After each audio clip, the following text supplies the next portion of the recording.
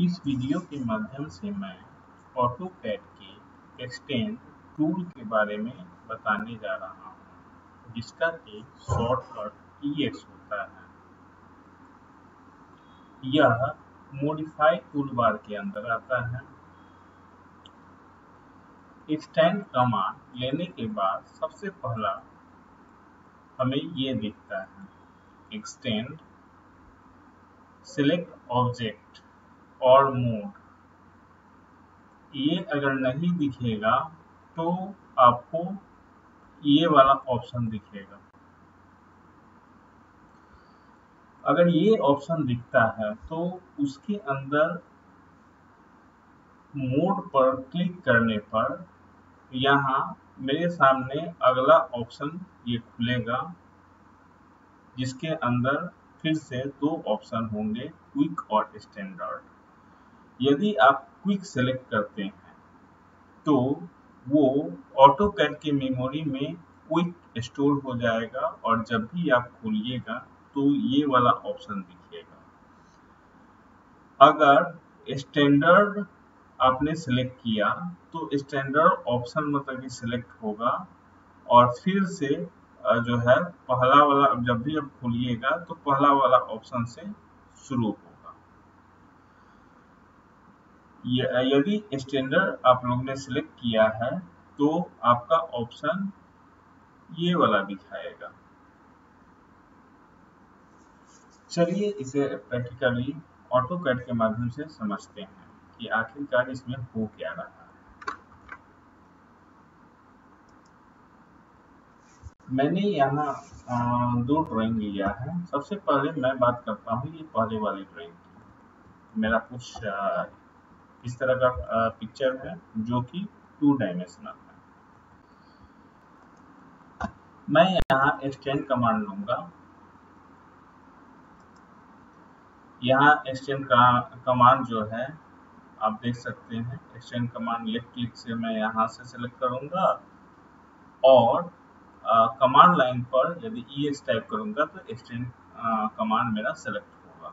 तो मैं यहाँ से लेफ़्ट क्लिक करके सिलेक्ट करता हूँ इसे। ये मोड सिलेक्ट करने के लिए कह रहा है। यदि मैं मोड सिलेक्ट करूँगा तो स्टैंडर्ड क्विक होगा। तो मैं देखता हूँ इसके अंदर कौन सा मोड है। मैं इंटर किया। आप देख सकते हैं boundary fence crossing mode project और एज ये वाला ऑप्शन जो था, मेरा स्टैंडर्ड ऑप्शन है। तो स्टैंडर्ड ऑप्शन है जो पहले देख चुके हैं हम। तो स्टैंडर्ड ऑप्शन में सबसे पहले मैं बाउंड्री एज की बात करता हूँ। मैंने बाउंड्री एज को सिलेक्ट किया। तो बाउंड्री एज सिलेक्ट करने का मतलब कि आप जो भी एज सिलेक्ट कीजिएगा, उसके एलोंग ये वहाँ तक एक्सटेंड कर देगा। सपोज़ मैंने बाउंड्री एज इसको सिलेक्ट किया। ओके अब इंटर मैं करता हूँ। यहाँ पर मैंने एक्सटेंड किया, यहाँ पर एक्सटेंड किया। अब देख सकते हैं, ये जो लाइन मेरा एक्सटेंड हो चुका है अप टू दिस लाइन जो मैंने सिलेक्ट किया था। इसको समझाने के लिए फिर से मैं एक्सटेंड कमांड लेता हूँ। मैंने एक्सटेंड लिया इंटर किया। वापस मैंने बाउंड्री एज लिया। अब की बार मैंने बाउंड्री एज इसको सेलेक्ट किया। इंटर किया। अब इसको मैंने एक्सटेंड कर लिया। फिर से मैं यदि सिलेक्ट करता हूँ, आप देख सकते हैं, मेरा जो आउटर लिमिट है लाइन का, वो इसी लाइन तक ये रह गया। लेकिन इसमें बाउंड्री चूँकि मैंने इसको मतलब सेलेक्ट किया था तो बाउंड्री जिसको सेलेक्ट किया था तो आप देख सकते हैं ये वाला लाइन यहाँ तक ये सिलेक्ट हो चुका है। अब मैं नेक्स्ट ऑप्शन की तरफ़ बढ़ता हूँ। वापस मैं वहीं चला चला जाता हूँ। नेक्स्ट ऑप्शन फिर से एक्सटेंड इंटर किया फेंस फेंस ये कहने का मतलब है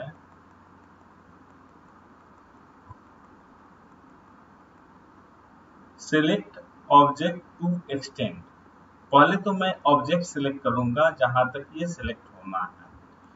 तो मान लिया जाए मैंने ऑब्जेक्ट सिलेक्ट किया, किसको सिलेक्ट किया?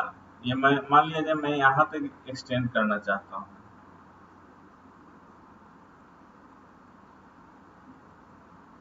ये फेंस नहीं हुआ, मैं फेंस फिर से लूँगा। मैंने एक्सटेंड किया इसको। फेंस के लिए सबसे पहले जहाँ तक मुझे एक्सटेंड करना है, वो ऑब्जेक्ट सिलेक्ट करनी होगी। मैंने इसको सिलेक्ट किया। इसको सिलेक्ट किया। इसको सिलेक्ट किया। इसको सिलेक्ट किया और इसको सिलेक्ट किया। अब मैं फेंस कमांड यूज़ करने जा रहा हूँ। उसके बाद मैं इंटर करता हूँ तो आप देख सकते हैं, यहाँ फेंस ऑप्शन में मुझे दिख रहा है। मैं यहाँ क्लिक करूँगा। फेंस मैंने यहाँ क्लिक किया। अब जैसे जैसे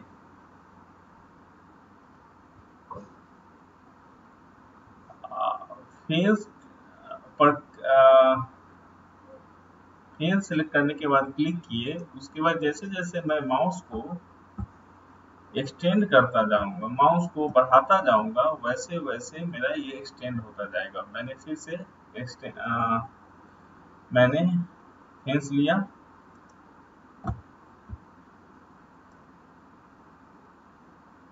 अब देख सकते हैं, ये कितनी आसानी से मेरा ड्रॉ हो चुका है।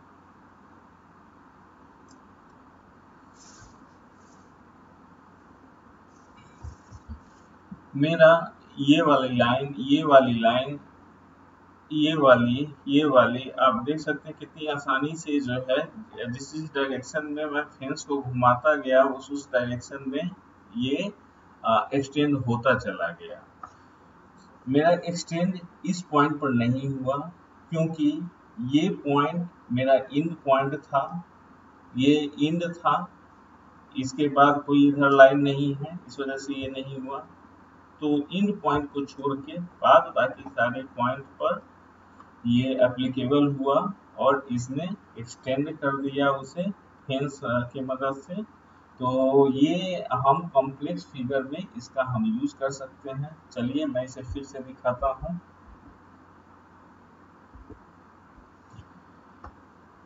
सबसे पहले हमको एक्सटेंड लेना है। एक्सटेंड अब चलिए मैं कमांड लाइन पर लेता हूँ। एक्सटेंड इंटर उसके बाद मुझे क्या करनी है? ऑब्जेक्ट को सिलेक्ट करनी है, जिसके अराउंड जहाँ तक ऑब्जेक्ट को एक्सटेंड होनी है। मैंने इस ऑब्जेक्ट को सिलेक्ट किया, मैंने ये वाला ऑब्जेक्ट सिलेक्ट किया। मैंने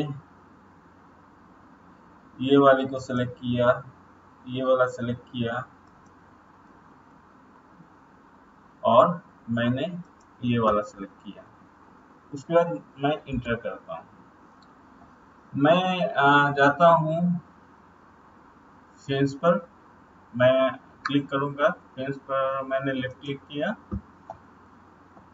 अब, पहला मैं लेफ़्ट क्लिक करूँगा, उसके बाद माउस के इशारे पर मैं इसे लाइन को बढ़ाता चला जाता हूँ। मोड़ने के लिए फिर एक लेफ़्ट क्लिक करूँगा। फिर, यहाँ से मुझे मोड़ना है, एक लेफ़्ट क्लिक किया। यहाँ से मुझे मोड़ना है एक लेफ़्ट क्लिक मोड़ना है लेफ़्ट क्लिक उसके बाद मुझे इंटर करनी है।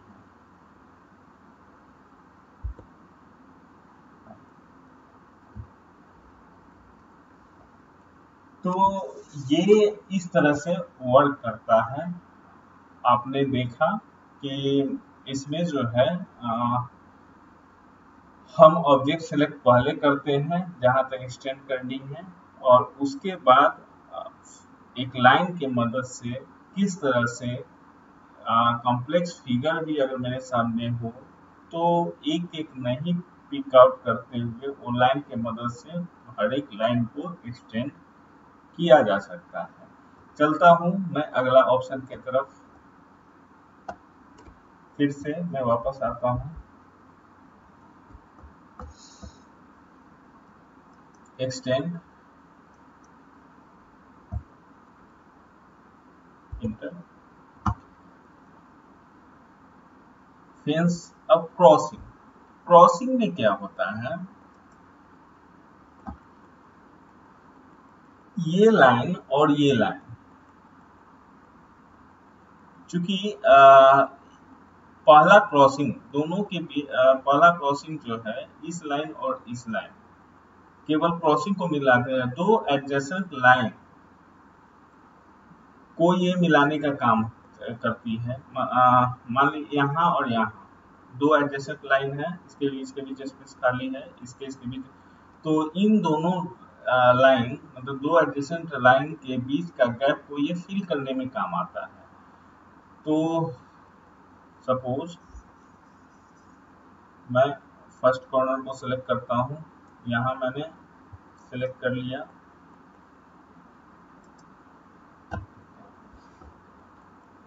फिर से क्रॉसिंग मैंने सिलेक्ट किया।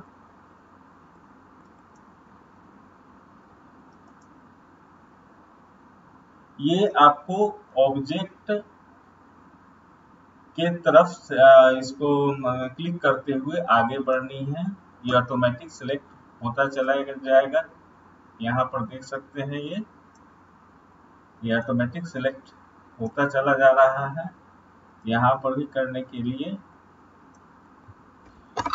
यहाँ पर जो है आ, मुझे वो ऑब्जेक्ट की ज़रूरत नहीं पड़ती है जो कि मतलब ये आ, जो जहाँ तक मुझे एक्सटेंड करनी है इसमें एक लिमिट होता है।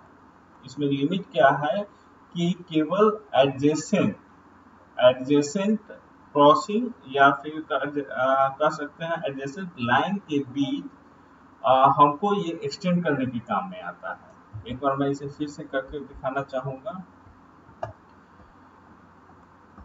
फिर से मैं एक्सटेंड लिया। अब इस एक्सटेंड को आपको मान लिया जाए ये सारे के सारे मतलब लाइन छोटे छोटे लाइन को मुझे एक्सटेंड करनी है। तो एक्सटेंड किसके मतलब एलोंग होगा? किस आ, किस लाइन तक होगा? ये अगला लाइन तक एक्सटेंड होगा। तो अगला लाइन तक एक्सटेंड होगा। तो मैं यहाँ क्लिक करता हूँ लेफ़्ट क्लिक और इसको माउस की मदद से मैं आगे बढ़ता हूँ। लेफ़्ट क्लिक किया। आगे बढ़ा। फिर से मैंने लिया इसको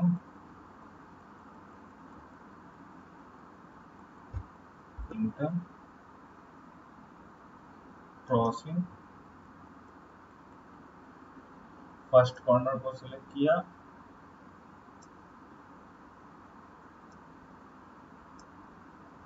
आगे बढ़ा।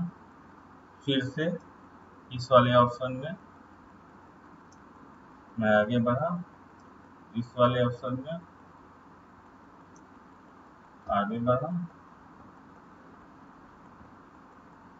अगले ऑप्शन में।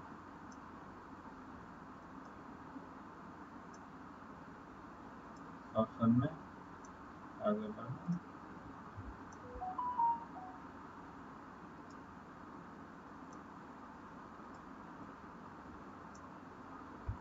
आप देख सकते हैं कितने बड़ मज़े से मैंने ये पूरा का पूरा मतलब गैप जो था, वो फिल कर दिया इसके मदद से।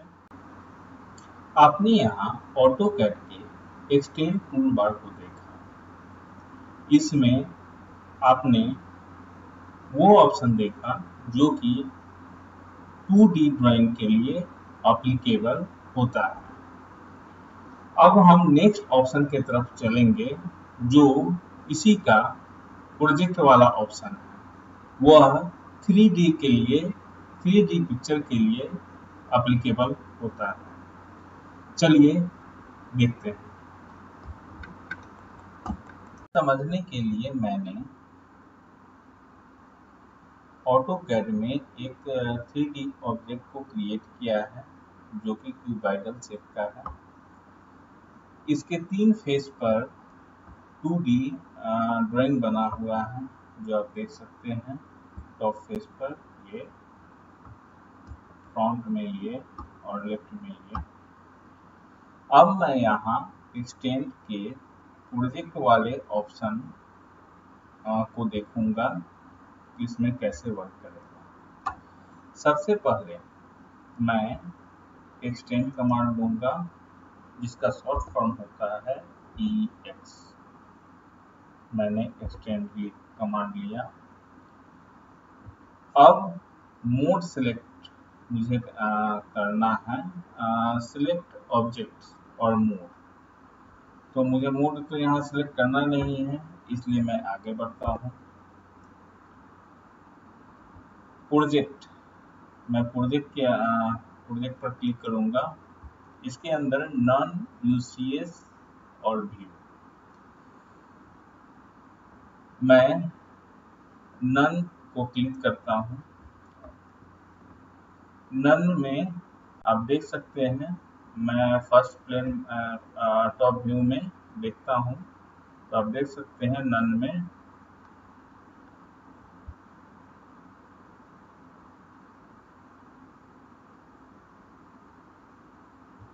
फिर से मैं लेता हूँ प्रोजेक्ट नन।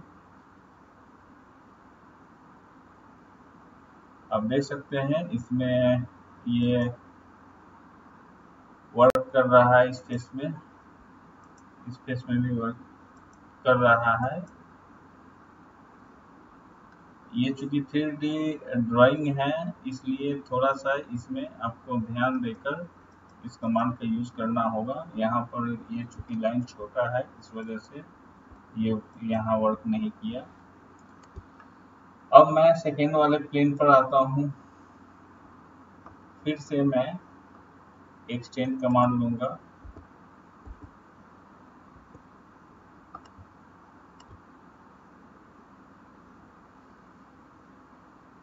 मोड मुझे नहीं लेना है, इसलिए मैं आगे बढ़ता हूँ। मैं प्रोजेक्ट में नन सिलेक्ट करता हूँ। आप देख सकते हैं।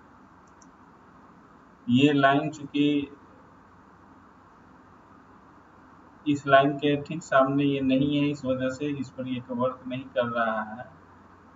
मैं इस लाइन को देखता हूँ।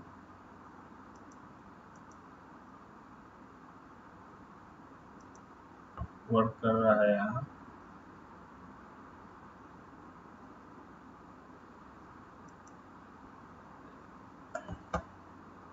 इस लाइन में भी ये वर्क करेगा।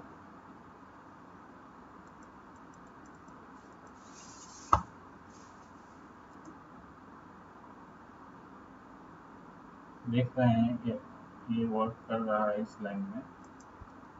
मैंने क्लिक कर दिया। आप इस पेज में भी ट्राई कर सकते हैं।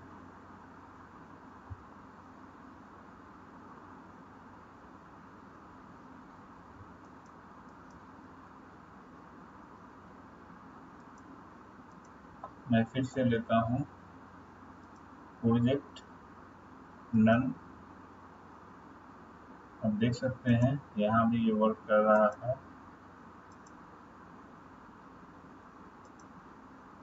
ओके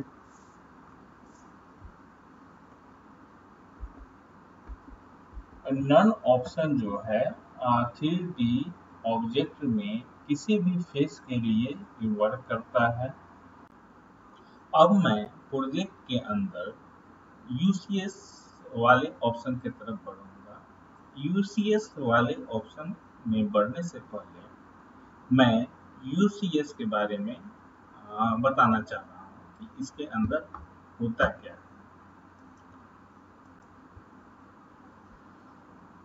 कोई भी ड्राइंग जो बनती है, वो एक्स और वाई एक्सिस के लॉन्ग ही बनती है। जितने भी टू डी ड्राइंग बनेगी, वो एक्स और वाई वाई एक्सिस के लॉन्ग बनेगी। और जेड एक्सिस उसका डेप्थ या हाइट के लिए होता है। सपोज़ कोई यूसीएस आइकन इस ढंग से हो, जिसका ये वाला एक्स एक्सिस को रिप्रेजेंट करता है लाइन दूसरा ये वाई एक्सिस को, ये तीसरा जेड एक्सिस को। तो एक्स एक्सिस और वाई एक्सिस के अलोंग जो प्लेन होगा वो यूसीएस का ड्राइंग प्लेन होगा। यू इस कमांड के लिए आ, वही प्लेन अप्लीकेबल होगा जो कि एक्स और वाई एक्सिस के अलोंग चलिए इसे ऑटो कैड में देखते हैं। यहाँ पर आप देख सकते हैं एक्स एक्सिस ये और वाई एक्सिस ये इट मींस ये टॉप जो यहाँ देख रहे हैं, ये टॉप और इसका बॉटम ये एक्स और वाई एक्सिस प्लेन होगा इसका। और बाद बाकी जो है, ये जेड एक्सिस के अलोंग होगा। जेड एक्सिस जो कि हाइट में लिए हुए हैं, हर किसी में जेड एक्सिस होगा। तो ये ऑप्शन जो है, केवल एक्स और वाई एक्सिस वाले ही प्लेन पर अप्लीकेबल होगा। चलिए इसे देखते हैं। मैंने एक्सटेंड कमांड लिया और एक्सटेंड कमांड के बाद यहाँ दो चीज़ मेरे पास आया सिलेक्ट ऑब्जेक्ट और मोड मुझे मोड यहाँ नहीं लेना है ऑब्जेक्ट को सिलेक्ट करनी है। मैं यहाँ ऑब्जेक्ट सिलेक्ट करता हूँ।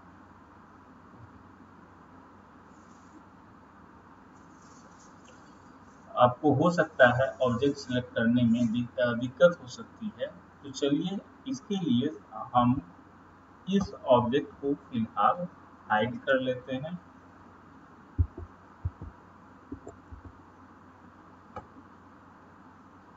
हाइड ऑब्जेक्ट जो कि टेम्पोरली हाइड होगा, मैंने हाइड कर लिया। फिर से यहाँ मैं एक्सटेंड कमांड लेता हूँ। सबसे पहले ऑब्जेक्ट जहाँ तक ये एक्सटेंड होना है, वो ऑब्जेक्ट मैंने सिलेक्ट किया इंटर किया। अब यहाँ से वापस प्रोजेक्ट को मैं सिलेक्ट करूँगा और यहाँ से मैंने UCS को सिलेक्ट कर लिया। अब जो ही इस पर आगे बढ़िएगा तो आप देख सकते हैं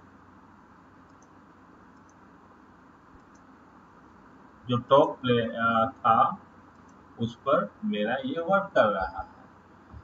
यदि यही कमांड मैं यहाँ पर यूज़ करूँ फिर से मैं आ, वो कमांड लेता हूँ ऑब्जेक्ट को सिलेक्ट मैंने किया ओके इंटर किया प्रोजेक्ट मैंने सेलेक्ट किया यूसीएस को सिलेक्ट किया। आप यहाँ देख सकते हैं, ये वर्क यहाँ नहीं कर रहा है। सेम कंडीशन यहाँ भी होगा।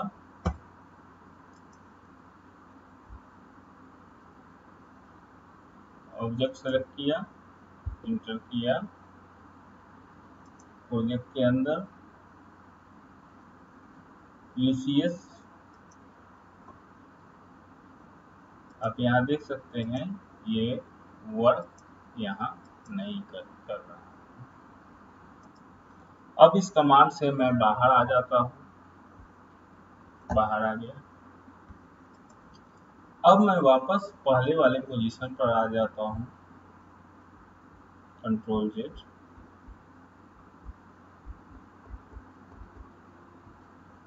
मैं पहले वाले पोजीशन पर आ जाता हूँ। अब मैं तीसरे ऑप्शन के तरफ़ बढ़ूँगा, जो व्यू का ऑप्शन है। ये व्यू का ऑप्शन वो ऑप्शन है जिसके अंदर हम हर व्यू में जाकर एडिटिंग कर सकते हैं। चलिए देखते हैं। मैंने एक्सटेंड लिया।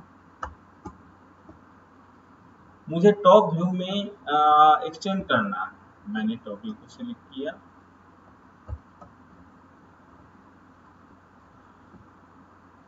एक्सटेंड सिलेक्ट ऑब्जेक्ट मुझे ऑब्जेक्ट सिलेक्ट करनी है यहाँ से।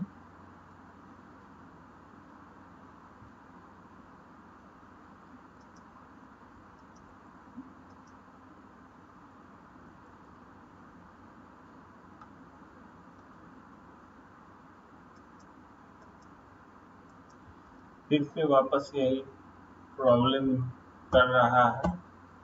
मैं फिर से इसे हाइड करूँगा।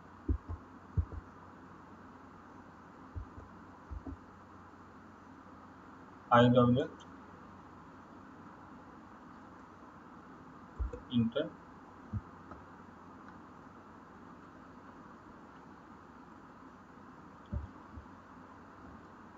एक्सटेंड मुझे करनी है।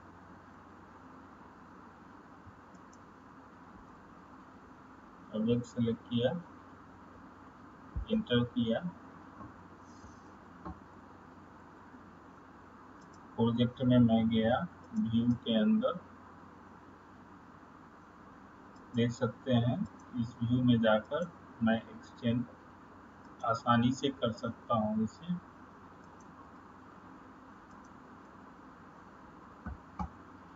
फिर मैं दूसरा व्यू में जाऊँगा।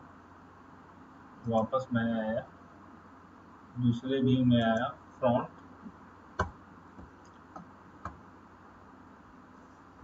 फिर से प्रोजेक्ट के अंदर। व्यू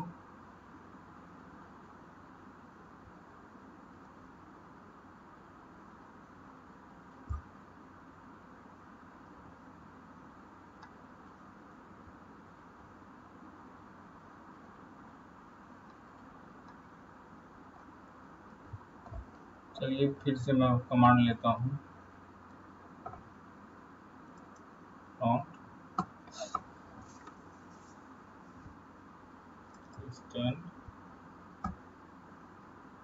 ऑब्जेक्ट को सिलेक्ट किया इंटर किया प्रोजेक्ट के अंदर गए, इस व्यू को सिलेक्ट किए। आप देख सकते हैं, यहाँ ये एक्सटेंड हो रहा है।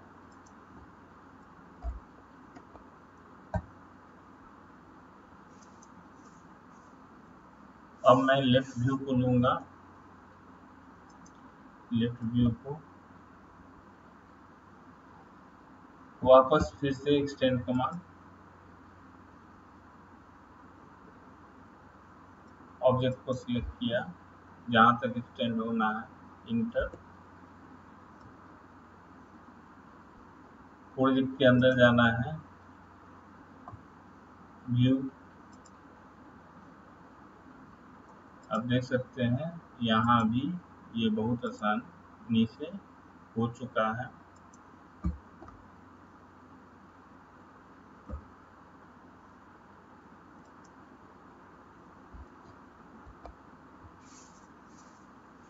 तो ये तो था मेरा एक्सटेंड कमांड आशा करता हूँ ये एक्सटेंड टूल बार या कमांड आप लोग को समझ में आ गया होगा। Thank you